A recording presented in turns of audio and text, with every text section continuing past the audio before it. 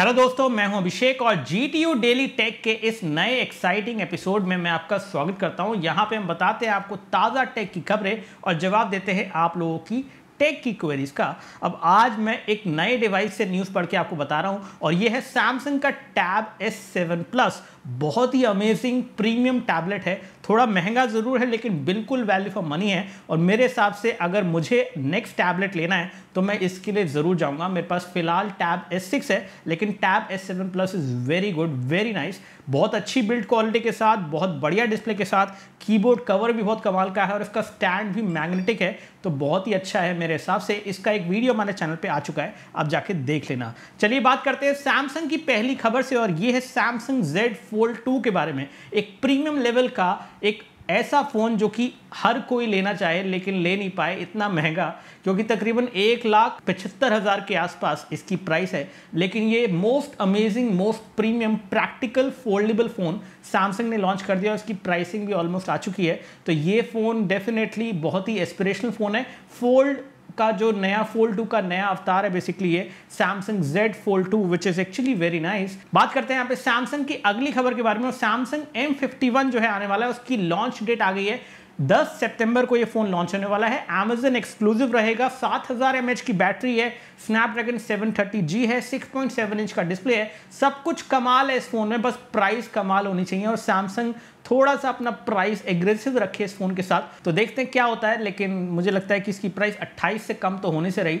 बाकी पता चल जाएगा हमें। अब बात करते हैं अगली खबर, वो है आईफोन 12 के बारे में। आईफोन 12 का एक लीक वीडियो आया है, जिसके अंदर आईफोन 12 प्रॉपर वीडियो में दिख रहा है कि कैसा होगा, उसका बैक साइड का ग्लास कैसी होंगी एजेस एजेस फ्लैट है और शाइनी एजेस हैं। बहुत ही प्रीमियम लग रहा है फ़ोन लेकिन अगेन ऐसा कहा जा रहा है कि ये फ़ोन शायद नकली भी हो सकता है। और इसमें आपको जो नॉच है वो ऑलमोस्ट उतने साइज़ की ही मिल जाएगी, बस डिस्प्ले थोड़ा सा बड़ा हो जाएगा और नॉच का साइज़ बहुत ही हल्का सा छोटा होगा। अदरवाइज़ नॉच उतनी ही बड़ी मिलेगी जो कि आईफोन के अंदर अभी तक बनी हुई है, बाकी फ़ोनों से तो जाती जा रही है। अब बात करते हैं रियलमी की अगली खबर के बारे में और रियलमी सेवन प्रो के बारे में इंफॉर्मेशन आई है कि इसमें Snapdragon seven twenty G confirmed है। जी हाँ सेवन ट्वेंटी जी वाला ये फ़ोन बेसिकली बड़ी बैटरी फास्ट चार्जिंग और साथ ही साथ एक एमलेट डिस्प्ले की वजह से लोग इसके ऊपर जाएँगे तो Realme 7 Pro के यही हाइलाइट्स रहेंगे। प्रोसेसर अगेन पुराना ही रहेगा। 20,000 के अंदर भी लोग लेने को तैयार नहीं है Realme 7 Pro को। क्या आप लेने को तैयार हो? अगर हो तो नीचे कमेंट में ज़रूर बताना। अगली खबर है मीडिया टेक का G95 चिपसेट के बारे में जो कि लॉन्च हो गया है। मीडियाटेक ने यहाँ पे मीडियाटेक G90T के बाद अब लॉन्च कर दिया है मीडियाटेक G95 जिसमें कुछ फ़र्क नहीं है, सिर्फ़ जो जीपीयू है, उसकी फ्रीक्वेंसी थोड़ी सी ज़्यादा कर दी गई है। वो 900 मेगाहर्ट्ज पे है। पहले वो तकरीबन साढ़े आठ सौ मेगाहर्ट्ज पे था। तो ऐसे में हल्का सा फ़र्क करते हैं और ये नए प्रोसेसर का नाम दे देते हैं। अगली खबर आ रही है वन प्लस की तरफ़ से। वन प्लस के दो ऐसे फ़ोन हैं जो कि आने वाले हैं सुपर अफोर्डेबल कैटेगरी में और इनका नाम है Billy two and Billy two. तो मुकुल शर्मा जी ने बताया है कि Billy two and Billy two ये दोनों फ़ोन जो है आने वाले हैं। और ये जो है वन प्लस के फ़ोन्स होंगे, ऐसा उन्होंने खोद खाद के निकाला है। कहीं कोड कैमरा के एपीआई के अंदर उन्होंने देखा है। तो देखते हैं क्या होता है। खैर, फ़िलहाल वन प्लस की तरफ़ से काफ़ी खबरें आ रही है। अब बात करें अगर जेड की तो जेड ने अपना पहला और पूरे वर्ल्ड का पहला अंडर डिस्प्ले कैमरा वाला फ़ोन निकाल दिया है। जी हाँ डिस्प्ले के अंदर ही कैमरा है। ये नॉच वगैरह नहीं है, ये बेसिकली डिस्प्ले ही बना रहता है कैमरा जब आप कैमरा लॉन्च करते हैं, तब वो कैमरा बन जाता है, यानी कि वहाँ के पिक्सल हो जाते हैं ट्रांसपेरेंट और वहाँ पे आपको कैमरा दिखने लगता है। जब कैमरा बंद करते हैं तो वहाँ पे नॉर्मल पिक्सल आ जाते हैं। ऐसा लगता है कि एक नॉर्मल डिस्प्ले है।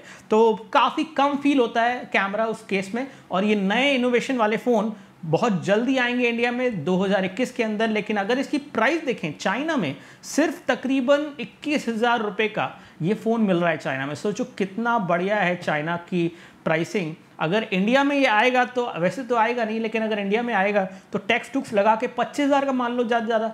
पच्चीस हज़ार में आपको ऐसा फ़ोन मिले जिसके अंदर अंडर डिस्प्ले कैमरा हो तो मतलब मज़ा ही आ जाए।